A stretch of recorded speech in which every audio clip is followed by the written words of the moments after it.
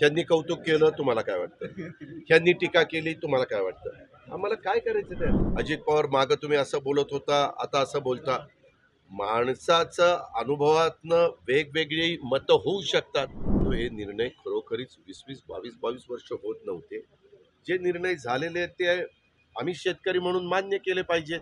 अमित शहानी भरभरून तुमचं कौतुक केलं तुम्ही देखील म्हणलं तुम्हाला काय वाईट वाटतं कौतुक हे का? एक मिनिट तुम्ही ना तुम्हाला उद्योग नाही. हे ह्यांनी कौतुक केलं थांबा जरा आता माझाही ऐका. ह्यांनी कौतुक केलं तुम्हाला काय वाटतं? ह्यांनी टीका केली तुम्हाला काय वाटतं? आम्हाला काय करायचं ते मला त्या संदर्भामध्ये आम्ही वडीलधाऱ्यांचा आदर करणारी माणसं.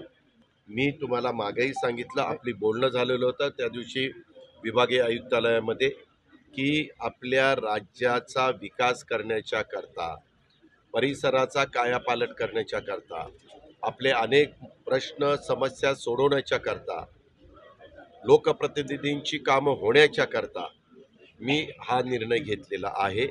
आज देश पातळीवर मला तरी प्रत्येकाचं वेगवेगळं मत असू शकतं.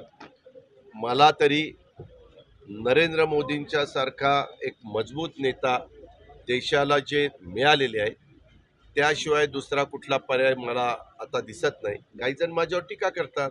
अजित पवार मागं तुम्ही असं बोलत होता आता असं बोलता. माणसाचं अनुभवातनं वेगवेगळी मतं होऊ शकतात. कामं आता तुम्ही बघितलं. परवा देशाचे पंतप्रधानांनी पाचशे रेल्वे स्टेशन पंचवीस हजार कोटीची तरतूद केली. त्यामध्ये पहिल्या टप्प्यात एकशे सव्वीस रेल्वे स्टेशन घेतली. तेरा हजार कोटीची तरतूद केली. पत्रकार मित्रांनो त्याच्यात आपल्या महाराष्ट्रातली चव्वेचाळीस घेतली. देशात एकशे सव्वीस तर त्या महाराष्ट्रात चव्वेचाळीस. त्या बहुतेकाला चाळीस चाळीस कोटी रुपये. आकुर्डीच्याला चाळीस कोटी दौंडच्याला चाळीस कोटी वडगाव मावळचा रेल्वे स्टेशनला चाळीस कोटी. आज चाळीस कोटी रक्कम कमी नाही आहे आज जर अशा पद्धतीनं विकास होत असेल रेल्वेच्या न- रेल्वे स्टेशनमध्ये येणारे जे आमचे प्रवासी आहेत उतरणारे जाणारे चढणारे सगळे त्यांना त्याच्यातनं सुविधा मिळत असेल. त्याचबरोबर इतर वेगवेगळ्या नॅशनल हायवेच्या आता बारा ऑगस्टला नितीन गडकरी साहेब येतात चांदणी चौकाच्या उद्घाटनाकरता करता त्यानिमित्तानं इतर पण काही आपले वाघोलीच्या परिसरातले प्रोजेक्ट मी काल काही अधिकाऱ्यांना घेऊन बसलो होतो. आपला जो टाटाचं काम दिलेलं आहे मेट्रोचा प्रोजेक्ट जो हिंजेवाडीला जातो तो विद्यापीठाच्या समोरनं त्या कामाला कशी गती देता येईल? मागे मी काय करायचो पंधरा दिवसाला ह्याचा आढावा मुंबईमध्ये घ्यायचो.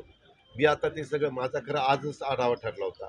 पण आज आपल्या राज्याच्या मुख्यमंत्र्यांनी शासन आपल्या दारीचं वेळ दिलेली असल्यामुळं मला त्याही कामाला जाणं गरजेचं आहे. परंतु मी ते करून संध्याकाळी मुंबईत जाईल आणि राज्यातले हे महत्त्वाचे जे जे प्रोजेक्ट आहेत आपल्याला काही करून विमानतळ आंतरराष्ट्रीय दर्जाचं ही पण जागा फायनल करून ठीक आहे. शंभर टक्के सगळ्यांना मान्य होईल अशी जागा निष्पन्न होणं अवघड आहे.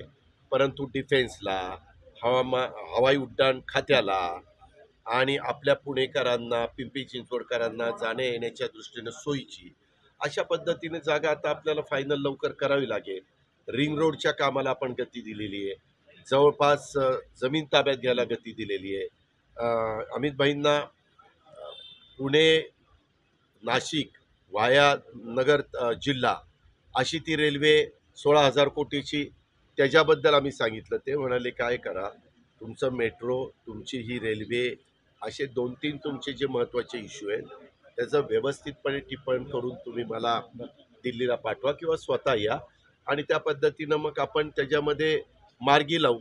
आणि मी एक बघितलं आहे जे काही त्यांनी मोठे धाडसाने निर्णय घेतले हे खातं आल्यानंतर इन्कम टॅक्सचा आपल्या ऊस उत्पादक शेतकऱ्यांच्याबद्दल पुन्हा एफ आर पीपेक्षा जास्त भाव दिला तरी साखर आयुक्तालयांनी चेक करायचं की भाव तो व्यवस्थित बसतो का? आणि बसत असेल कुठंही कर्ज वाढत नसेल रितसर भाव बसत असेल तर त्याला मान्यता द्यायची आणि त्याला इन्कम टॅक्स लागणार नाही. मी पत्रकार मित्रांनो हे निर्णय खरोखरीच वीस वीस बावीस बावीस वर्ष होत नव्हते.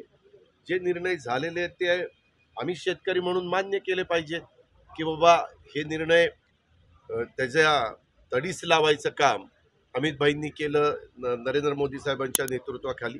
अशा पद्धतीची कामं चालली.